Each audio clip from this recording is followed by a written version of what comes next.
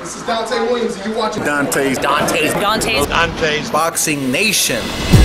This is Showtime Sean Portland. Filipino Flash, Jesse Burns. This is Al Bernstein. You're watching Dontae's Boxing Nation. Hi, I'm Sugar Ray. Chick Shape. Sergio the last name more. Dontae, Dontae, Dontae's Boxing Nation. Boom, boom, boom, boom. Yo, this is Deontay the Bronze Bomber Wilder, My name is Gennady Golovkin. and you're watching Dontae's Boxing Nation. Hi, this is Julian Jackson, and this is Dontae Boxing Nation. This is Julian Jackson, and you're watching Dontae's Boxing Nation. All right.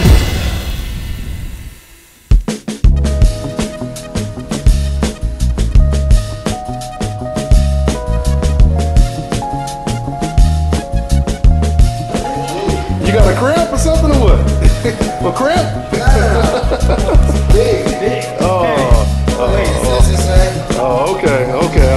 making sure you're all right. Dontae's Boxing Nation, what's going on, guys? Well, as I predicted, 2016 is going to be an epic year of boxing. It was just reported today that Andre Ward versus Sullivan Barrera is official for March 26. You know, first of all, I meant to start this video off and tell you guys that um, we actually did the radio show this week, and I'm still trying to upload the video. Been having some problems trying to upload it. Something is wrong with the file, so um, I'm converting the file.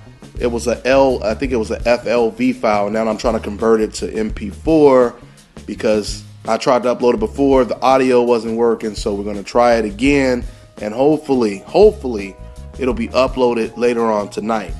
Okay, so with that out the way, let's get into this fantastic news once again.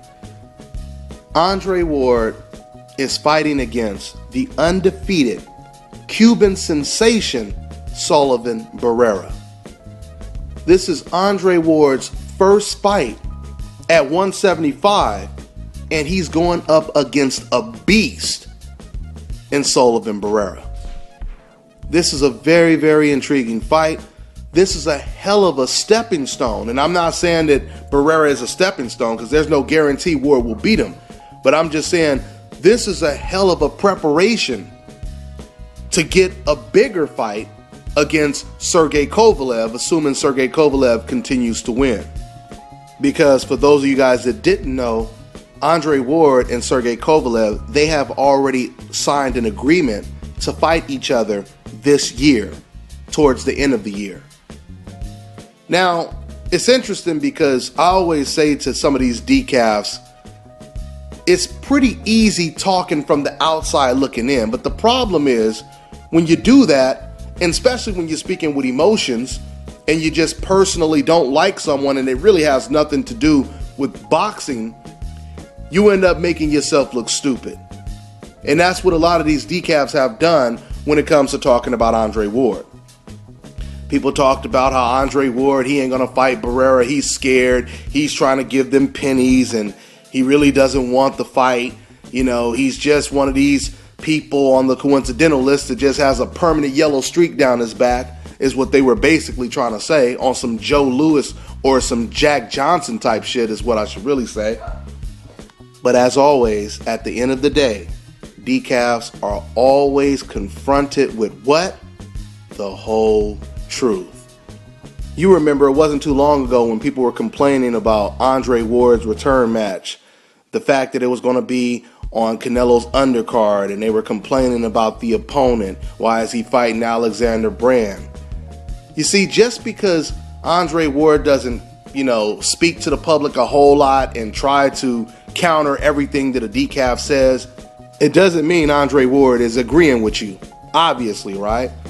See, because while you guys were trying to accuse Andre Ward of fighting a bum and et cetera, et cetera, trying your best to criticize Andre Ward, like all of a sudden he's the scariest fighter in the world.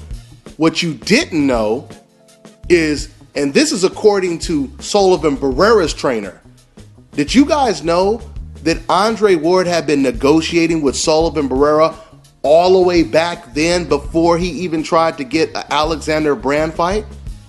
Oh, yeah. Andre Ward had been negotiating to get this Sullivan Barrera fight for a very long time. It just wasn't reporting. So now that this fight is official, I also want to talk about Sullivan Barrera. You know, like I said before, I give Sullivan Barrera a lot of credit for taking a fight like this. He's going against pound for pound the best fighter in the world.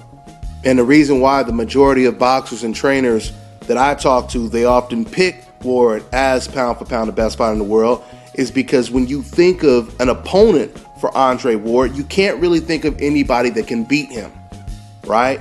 It's kind of like Floyd Mayweather. You really knew there was nobody that was going to beat Floyd Mayweather, and he proved that.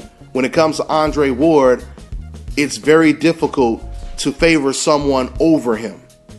That's why he's considered the best fighter in the world. I've heard diehard Golovkin fans insinuate that Andre Ward would beat their fighter because he's too big, because he's at a higher weight class, etc., etc. Andre Ward is trying to bully Golovkin. You know, like Golovkin all of a sudden is just this little fragile coward or something, and he can't deal with the, the big bad bully. This is how they try to make it sound. But if you guys notice, Andre Ward, he practices what he preaches. Because now Andre Ward is doing exactly what fans were asking Golovkin to do. Why don't you move up to a higher weight class? Fight the big bad bully and beat him. This is what Andre Ward is attempting to do. Not only is he going up to fight Kovalev, but before he fights Kovalev, he has to get past another big bad bully. And his name is Sullivan Barrera. And Sullivan Barrera ain't no damn joke. Once again, I had the privilege of watching Sullivan Barrera and Gennady Golovkin train live, train together. I watched them spar each other. And all I'm going to tell you is Sullivan Barrera he did very well. Especially in contrast to the other opponents that Golovkin sparred, or maybe I should say the other sparring partners that Golovkin sparred that same day. Barrera did very well. Barrera is a very, very talented fighter. Now, let me talk about what this would mean for Barrera. If Barrera were to win this fight, this win would catapult his career to new heights. I mean, it may even be argued that he could be favorite to beat Kovalev if Barrera were to win this fight. Barrera, no doubt, would have a weight advantage, a size advantage, I should say. He has good height, he has rhythm, boxing ability, he knows the sweet science, he has a Cuban pedigree. So he has a good chance of pulling off the upset and winning this fight. This is a very, very good matchup.